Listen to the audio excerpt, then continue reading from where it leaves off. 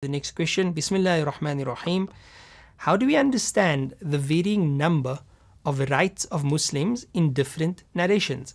Again, a hadith related question. The essential answer here is that under one topic, you may find various narrations saying different things, even though it's talking about the same topic. So, before we get into the rights of the Muslim, let's look at a different example. And that example would be which deed is the most righteous deed? Which deed is the most righteous deed? Herein we find various narrations of the Prophet Muhammad In some narrations, the Prophet ﷺ indicates clearly that the most righteous deed is jihad fi sabilillah, striving in the cause of Allah subhanahu wa ta'ala with a righteous legitimate striving. In another narration, he would speak about the Hajj and that a righteously performed Hajj is the best deed. In a different narration, he would say that the best deed is that which is uh, which, which is small or consistent, even though it be small. So, how do we reconcile between the fact that there are various narrations, they are all speaking about the same thing, like righteous deeds, yet they're saying different things? The basic answer of this is that each expression would have a different context and a different audience. And these different narrations cater to different contexts and audiences. And the same thing can be found in our uh, daily interactions as well.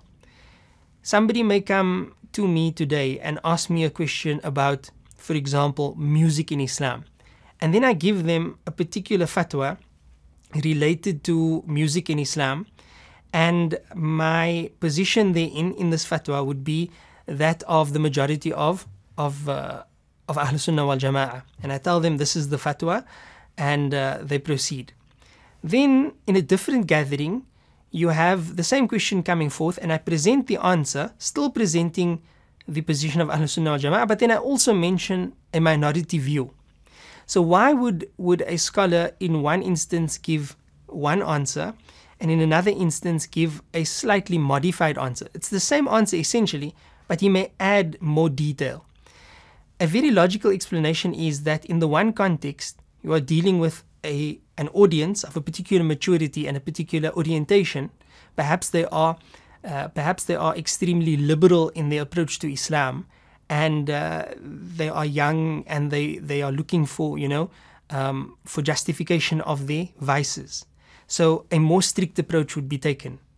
And then in a different context, you may find that the audience you are dealing with is a very conservative audience, um, not very tolerant of differences of opinion, not very tolerant of uh, different viewpoints. So therein you may give a more uh, a more balanced uh, answer because you understand that by giving a very strict answer to this audience, it wouldn't be healthy for the application of Islam because it would feed into the ultra conservative approach.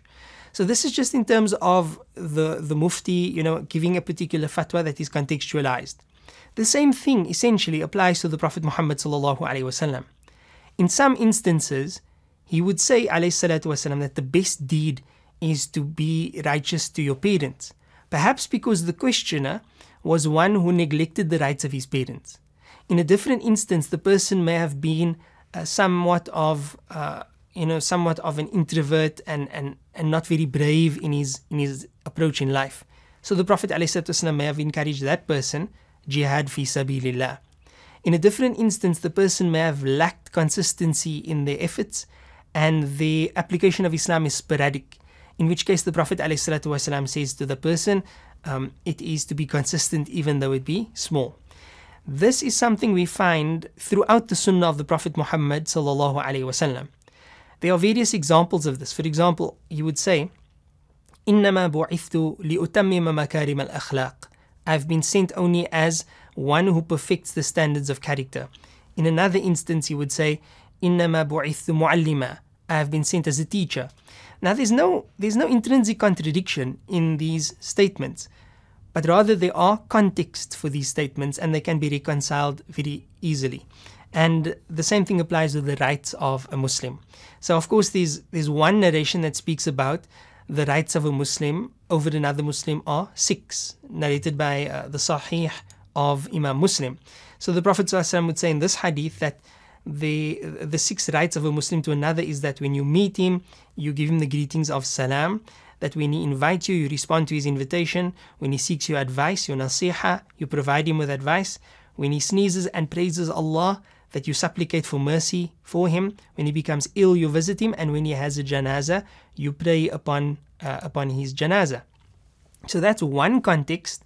Six rights of a Muslim over another Muslim, and there you have an answer. However, if you add to this, are these the only rights of a Muslim over another Muslim? Now, based on the fact that there are various other narrations that speak about other rights of Muslims over others, certainly we can say that no, these are not, these are not, uh, this is not an exhaustive list of the rights of a Muslim over another. Different contexts may have provided different answers to this, uh, to this issue. Now, there's a bigger lesson here. The bigger lesson is that it is essential for anyone looking to understand the sunnah of the Prophet sallallahu to learn about his sunnah comprehensively as opposed to atomistically. Comprehensively meaning to take the entire corpus of Islam, the entire Quran, the entire Sunnah, the entire corpus of Ijma' and the entire corpus of the teachings of the Sahaba, and understand all of that in general before reaching a conclusion upon any particular uh, teaching. And this applies not only in, in light of interpretation of hadith, but everything. If you want to know whether it is sunnah to stand and drink or to sit and drink, you may open up a hadith book and the hadith book reads that the Prophet ﷺ stood and drank. And then, based on that hadith, which is authentic, you may decide, well, then it is sunnah to stand and drink. But this is just one data point in a, in a plethora of other data points. The other data points would clearly indicate that the Prophet ﷺ prohibited standing and drinking. And he told somebody who stood and drank to spit out what they drank, right? To regurgitate what they drank. So if you if you understand that these are various data points, then the next question is so how do we reconcile this? Now, for the most part, the average Muslim wouldn't need to reconcile this. They would refer to the scholars who had already done the reconciliation for them. And the end result of that reconciliation is essentially the four schools of thought. So you go to the Shafi'i school, and the Shafi'i school would tell you that it is sunnah to sit and drink. And the only reason why the Prophet ﷺ stood and drank in that one narration is to indicate that it is permissible to do so, albeit makruh, disliked. Whereas the sunnah is, in general, to sit and drink, right? But had the Prophet ﷺ not stood and drank on that one occasion or two occasions, then the interpretation might have been different and we would have said, well, it is impermissible to stand and drink and it is obligatory to sit and drink. Because the law is derived from his life, alayhi salatu wasalam. And this is a much, a much bigger lesson than the question uh, at hand, which is essentially how do we understand the various narrations about the rights of Muslims. But it's a, it's a lesson that that we all should learn as quickly as possible that we cannot approach Islam atomistically, whether it be a verse of the Quran, whether that be a hadith of the Prophet, ﷺ, whether that be a particular practice. It is essential for consistency, right, for a coherent application of Islam's teachings, that we do so not atomistically but comprehensively. And the best solution for this would, of course, be to follow the traditional schools of thought in um, in theology as well as in in practice. And uh, beyond that, what is not what is not um, you know the focus point of theology and, and practice, there's going to be the the practice of Islamic spirituality. So there again, we refer to the scholars of Islamic spirituality. If you don't do that, you may end up with a lopsided, a wayward, and a skewed um, you know, concept uh, or conceptualization of